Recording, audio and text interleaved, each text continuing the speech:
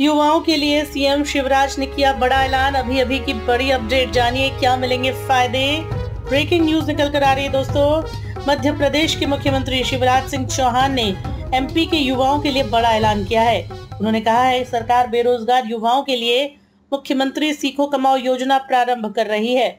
उन्होंने बताया कि मंत्रिमंडल ने इस योजना को अनुमति दी है और इसकी शुरुआत सात जून से होगी। इस योजना के अंतर्गत बारहवीं पास ITI, diploma, graduation, post graduation किए युवा पात्र होंगे। काम सीखने के बदले राज्य सरकार युवाओं को स्टाइपेंड देगी।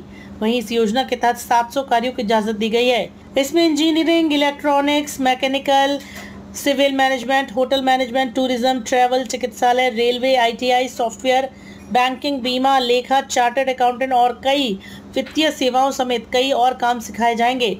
ये काम सीखने के चलते युवाओं को स्टाइपेंड दिया जाएगा। इसके साथ मुख्यमंत्री शिवराज सिंह चौहान ने कहा कि चिड़िया अपने बच्चों को घोंसला नहीं देती, वो पंख देती है जिससे वो प्रगति और विकास की लंबी उड़ान भर सकें।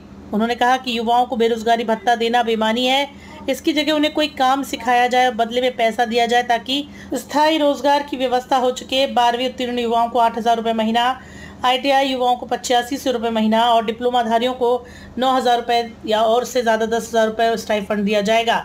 इसके लिए पोर्टल का काम जारी है। सात जून 2023 से जिन प्रतिष्ठानों में बच्चों को काम सिखाया जाएगा, उसका पंजीकरण आरंभ होगा। पंद्रह जून से युवाओं का रजिस्ट्रेशन और पंजीकरण शुरू हो जाएगा। पंद्रह जुलाई से प्लेसमेंट आरंभ होगा। इकतीस जुलाई से जहाँ युवक काम करेंगे, उनके बीच और राज्य सरकार के बीच एक ऑनलाइन अनुबंध होगा। एक अगस्त 2023 से युवा इन प्रतिष्ठानों में काम करना प्रारंभ कर देंगे और बैंक उनके अकाउंट में डी पी टी यानी डायरेक्ट बैंक ट्रांसफ़र के ज़रिए स्टाइफंड की राशि ट्रांसफ़र करेगी।